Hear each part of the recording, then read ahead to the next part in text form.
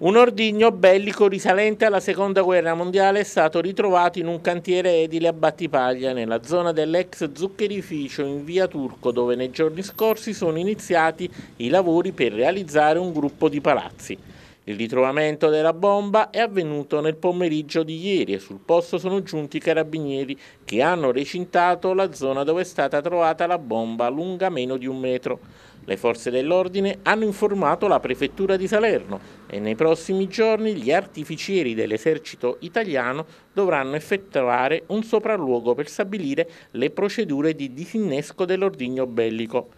Solo dopo il sopralluogo dei militari si potrà sapere se ci sarà bisogno di evacuare la zona a ridosso dell'ordigno bellico o se verranno adottate altre procedure.